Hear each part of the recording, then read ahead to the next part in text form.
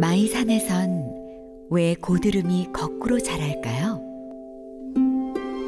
고추장 다이어트에 성공한 선녀들의 허리 사이즈는 과연 몇 인치일까요? 파도가 깎아 만든 채석강의 자연도서관에는 책이 몇만 권이나 될까요? 2012가지 전북의 숨은 이야기 떠나세요. 2012년엔 당신이 몰랐던 전북으로.